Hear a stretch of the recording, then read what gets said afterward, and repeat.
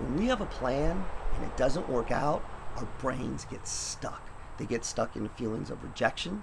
They get stuck in feelings of insecurity, frustration, anger, because things are not going our way.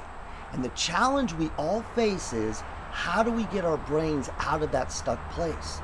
The only way to do it is to move forward, but you can't move forward when you're angry or frustrated or feeling insecure. So when things don't work out, the number one thing you have to do is A, acknowledge it, own it, and then B, make a plan to make a first step forward. It doesn't have to be a five step plan. What are you going to do next?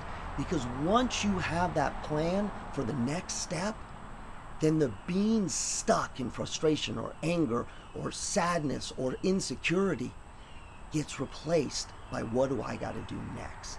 We're all going to have plans that don't work out. We're all going to have our brains get stuck. But it's the people who have the plan for the next step, not all the steps, just the next step, are the ones who move forward a lot faster.